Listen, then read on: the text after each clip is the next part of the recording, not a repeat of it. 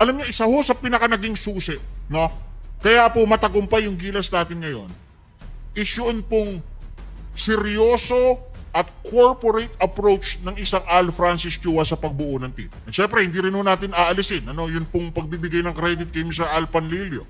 Dahil bin, nagbigay daan po siya.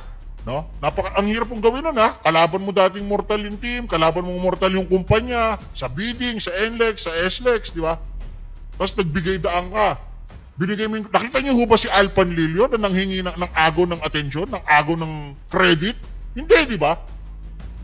Kaya nga ho ako, nalulukot ako doon sa iba na tinitira pa si Al Panlilio, nag-step aside na nga.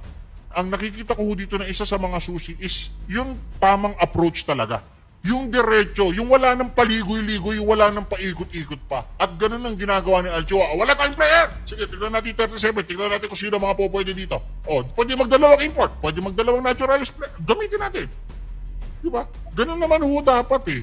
Wala nang paligoy-ligoy pa. At ang isang maganda ho kasi dito kay Al Francis Chua, kung may budget po yung SBP, wala siyang pakialam dyan. Di ba? Dahil kikitain naman niya yan sa kanyang sweldo at sa kanyang trabaho doon sa San Miguel. Di ba? At ang maganda kay Al Francis Chua, results matter. Dahil pagpalpak yung naging resulta nung ipinapagawa sa kanya ni RSA at nung mga nasa itaas sa kanya, mapapahiya at masisira ang pangalan niya. Yun ho ang kalamangan ng isang Al Francis Chua. Hindi ho siya pa-petiks-petiks, hindi ho siya pa-relax-relax, hindi ho siya pa mamanya-manya, mamaya na. Bagko si Al Francis Chua, pag dapat gawin ngayon, gawin na natin. Yun ho yung kaibahan niya doon sa mga dati yung umupo. Hindi ho yung presidente ay yung mga nasa baba. Nililinaw ko lang. Nagugulpi na si Mr. Panlilio. Yung mga nakaupo ho dati sa gilas. Di ba? Hindi ho nila binibigyan ng atensyon yan.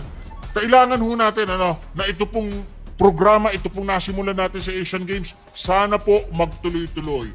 At ang isa ko mong pakiusap, sana po mag-name na tayo ng coach as soon as possible dahil baka magahol na naman ho tayo sa next tournament na atin pong sasalihan.